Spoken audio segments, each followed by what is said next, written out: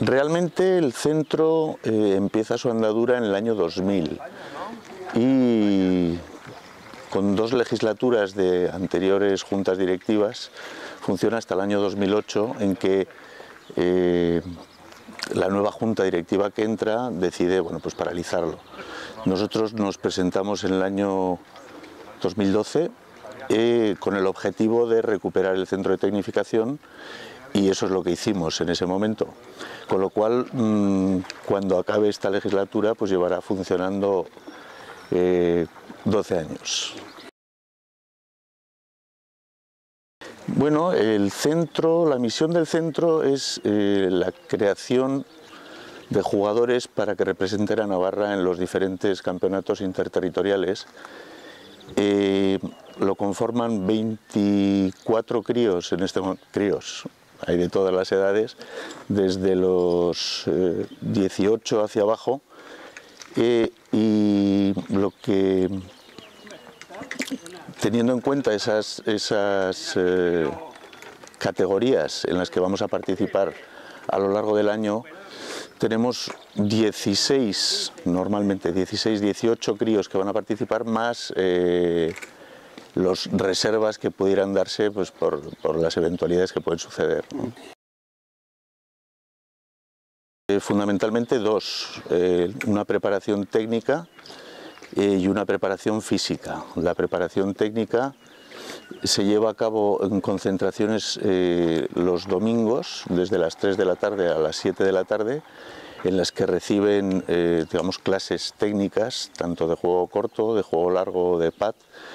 Luego suelen salir al campo y los martes tienen digamos, la concentración física. Están dos horas con un, con un técnico.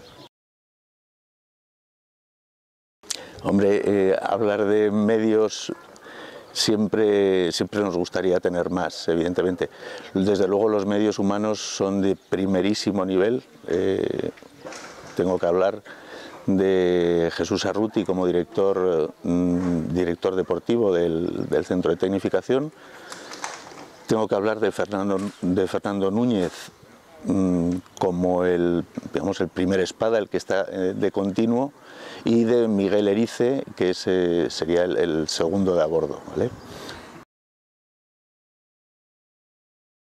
Eh, bueno, nosotros consideramos que esa formación que requieren los equipos que van a representar a Navarra eh, se consigue de mejor manera eh, teniendo digamos una disciplina de entrenamientos, ¿vale? Entonces, desde nuestro punto de vista, evidentemente la conseguimos con esas concentraciones y con, una unidad de criterio.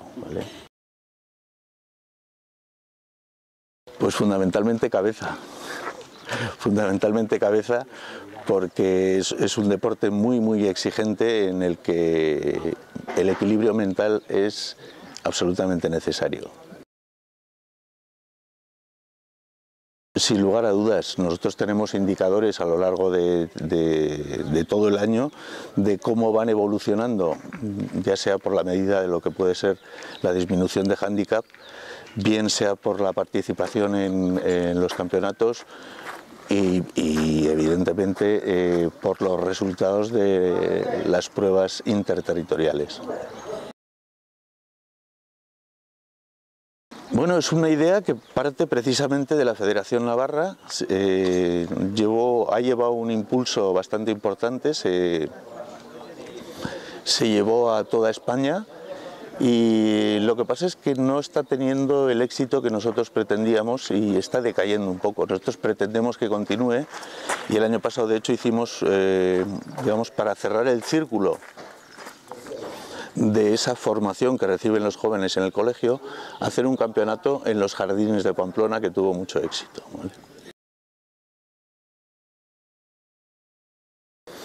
Bueno, eh, a través de la coordinadora del coordinador de deportes del Gobierno de Navarra, eh, yo creo que su papel eh, fue fundamental porque trataba de animar a los profesores de educación física de, los, de todos los centros de Navarra en, ampliar esa disciplina a, todos los colegios posibles.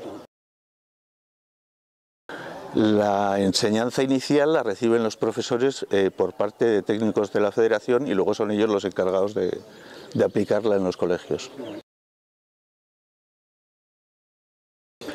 es un dato difícil de evaluar.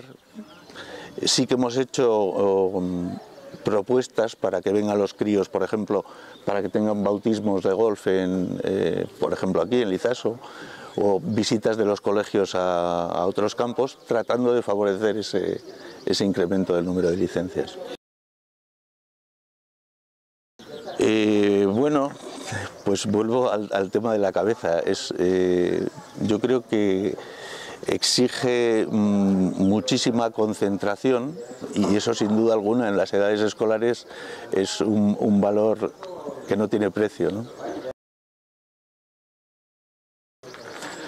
Bueno, nosotros estamos satisfechos de, cómo está evolucionando eh, los, eh, el golf a nivel de comunidad autónoma los eh, campeonatos en los que participamos o que participan nuestros jugadores nos lo están diciendo. ¿no?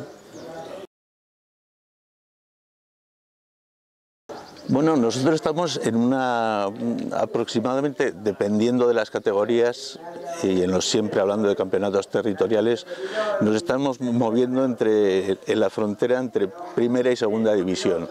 Y teniendo en cuenta que es una comunidad uniprovincial, que no tenemos los 133 campos que puede tener la Federación Andaluza, tenemos tres campos y un, un pitch and pad, pues eh, está todo dicho, ¿no?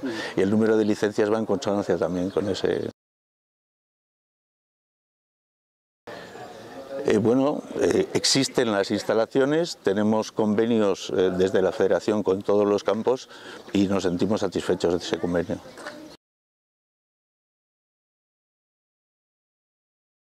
Presente y futuro, sin lugar a dudas.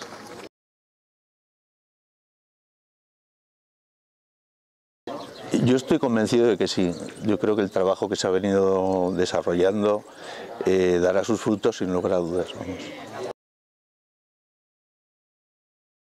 Bueno, eh, de entrada nosotros pretendemos mantener eh, ese compromiso con el mundo del golf, de crear equipos y estar siempre pensando en sacar críos para que al final existan estrellas en el mundo del golf.